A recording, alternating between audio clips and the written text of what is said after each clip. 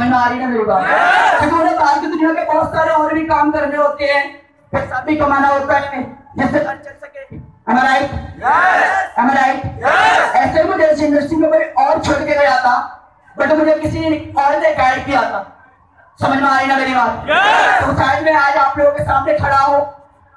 वो तो ज़्यादा वेट किया है मेरे इस मूवमेंट का। सच बता रहा इस बारह महीने में मुझे नहीं लगता कि कोई भी ऐसी रात रही होगी। मैं छह घंटे से सात घंटे ज़्यादा सोया हूँ, पचास से तीन से चार घंटा सोया हूँ इस बारह महीने में, क्योंकि मेरे सपनों ने मुझे आज तक सोने ही नहीं दिया यार।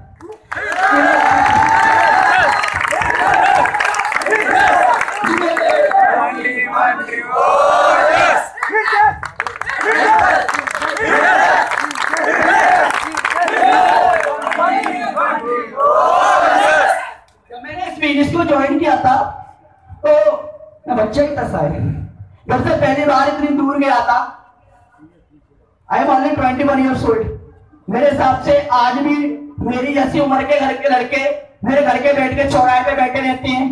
कॉलेजों के स्कूलों के चक्कर लगाते हैं कोचिंगों के बाहर बैठ के घूमते हैं।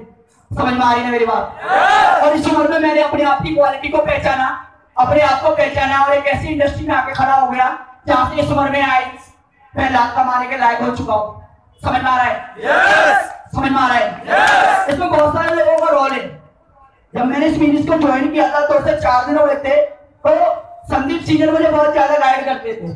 समझ में आ रहा है? Yes! मैं नेगेटिव बहुत ज़्यादा हो जाता था। तो ये ना मुझे इतना समझाते थे इतना समझाते थे। शायद ने आज अपनी टीम को समझाया होता तो शायद मुझसे पहले थोड़ी बच गए होते। समझ में आ रही है मेरी बात? कभी कभी मेरा मन करता था चल यार घर चला जाता हूँ। तो संदीप सीनियर मेरे गले में हाथ डाल के ले जाते थे और मुझे कहीं ना कहीं बहुत सारी चीज़ें बात दिलाते थे। एक ही चीज़ बोलते थे चीज़ सुनी थी मुझसे। कि यार चल, मेरे तो मम्मी पापा नहीं है। फिर मैं यहाँ पे काम कर रहा हूँ। तेरे तो है ना तो तू तो उनके लिए कर सकता है ना फिर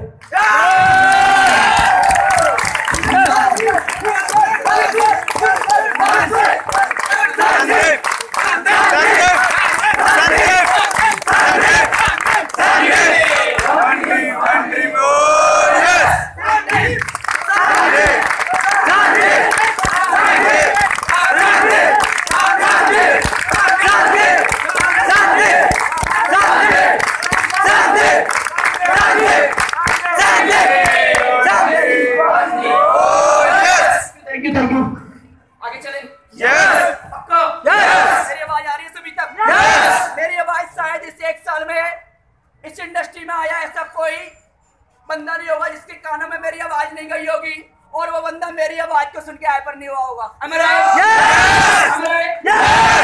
चीज़ मुझे आज भी याद आती है कि कब जब तू कल इस इंडस्ट्री में आया था तो तेरे पे बोला नहीं जाता था लेकिन आज इस इंडस्ट्री में बहुत सारे ऐसे लोग हैं जो मुझे पर्सनली बोलते हैं सीनर आप तो हमारे आइडल बन चुके हो।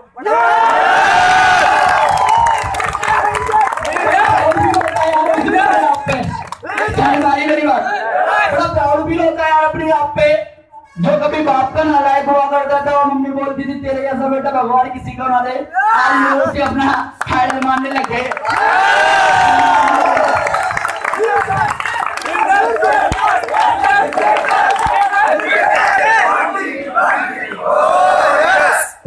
नहीं है, आगे चलते हैं।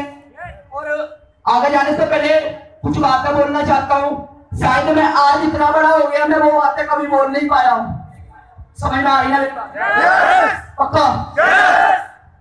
मैं ये बात अपने पापा को बोलना चाहता हूँ।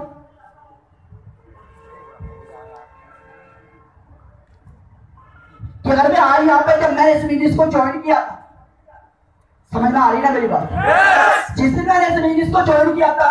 सच में मेरी बाहर की दुनिया का कोई ऐसा रीजन नहीं था कोई ऐसी दुनियादारी नहीं थी। उस टाइम मेरे दिमाग में सिर्फ़ मेरे पापा और मम्मी आ रहे थे कि एक दिन मैं उनके लिए ऐसा करके जाऊँगा ऐसा करूँगा कि लोग सिर्फ़ उन्हें मेरे नाम से जानेंगे।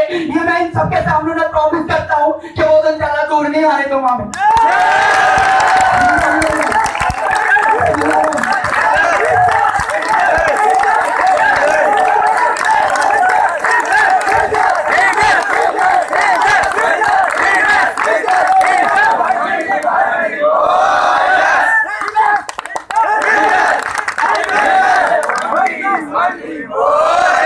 क्योंकि हर माँ बाप कहीं ना कहीं अपने बच्चे से एक आस लगाता है शायद मैं ये चीज़ हमेशा बोलता हूँ कि जब वो छोटा होता है तो उसके पापा सिर्फ़ एक ही चीज़ सोचते हैं कि बेटा बड़ा हो गया तू कुछ बड़ा आदमी बनेगा डॉक्टर बनेगा इंजीनियर बनेगा। एम राइट किसी के माँ बाप अपने बच्चे से एक पेरेंट्स अपने बच्चे से एक सपना देखते हैं कि एक दिन तू कुछ ऐसा करेगा।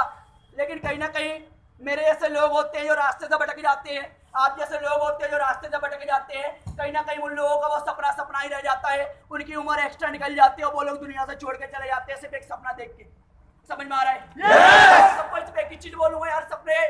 शायद मेरे माँ बाप ने भी देखे थे शायद आज भी देखते होंगे बट मुझे नहीं पता क्या देखते हैं। शायद सपने आपके माँ बाप ने भी देखे होंगे शायद ये चीज़ आपको ज़्यादातर पता है।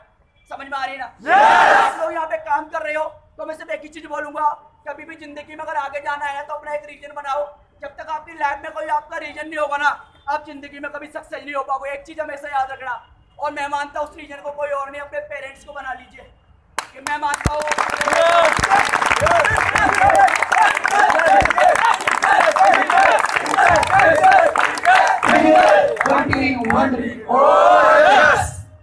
सही है सही है ये मोमेंट आप सबकी लाइफ में आएगा एवरीथिंग इज़ पॉसिबल ये मैं मानता हूँ, क्योंकि ऐसे बंदे ने चीज़ें पॉसिबल कर ली जिसे ज़िंदगी में कभी नहीं सोचा था यार। कभी नहीं सोचा था। बारह महीने से ज़मीन पर सो रहा हूँ गद्दे पे बट मैंने कभी बताया नहीं था मम्मी और पापा को। अगर पापा का मम्मी का कभी वीडियो कॉल आया था तो हमेशा मैंने बिल्डिंग के बाहर से दिखाता था कि मैं इसमें रहता हूँ पर मैंने बताया नहीं कि मैं यहाँ पर सोता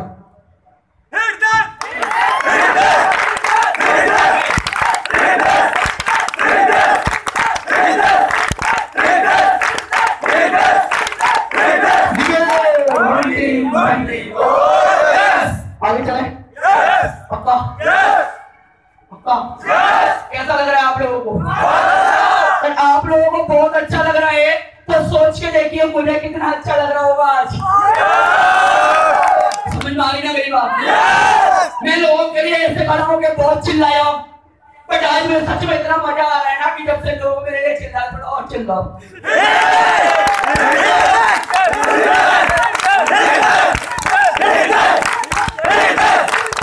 रेडियो तो मुझे भी उतना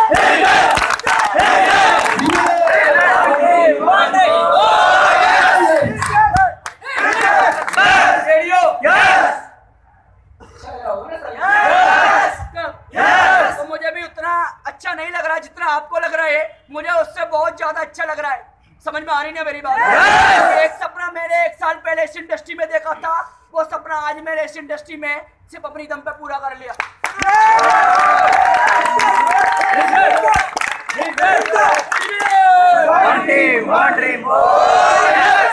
सही है आगे चले।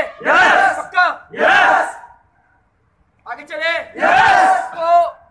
आगे जाने के लिए मैं एक ऐसे पर्सन को बुलाना चाहता हूँ समझ में आ रही ना एक ऐसे पर्सन को चाहता हूँ कि अगर मैं आज यहाँ पे खड़ा हूँ और आज आप लोगों के सामने बोल पा रहा हूँ आज आप लोगों के सामने चिल्ला पा रहा हूँ तो दो पर्सन है जिन्होंने मुझे इस इंडस्ट्री में सच में आज रोका और आज मैं उन दोनों की वजह से ही बना।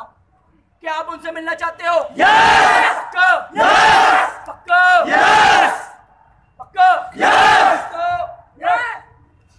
नाम जानना चाहते हो? पक्का? तो उनका नाम है अजीत जी। क्या नाम है? क्या नाम है? जब भी मैंने इस बिज़नेस को ज्वाइन किया था तो मुझे मेरी कॉपी पे क्वेश्चन देते और मुझे मिलाने के लिए ले जाते थे।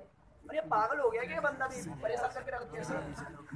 समझ में आ रही ना मेरी बात? Yes! बट आज वो सारी चीज़ें रियलाइज़ हो रही हैं कि अगर ये बंदा उस टाइम मुझे इतना आगे तक नहीं ले जाता तो मुझे लगता नहीं मैं कभी भी इस जगह पे आ पाता।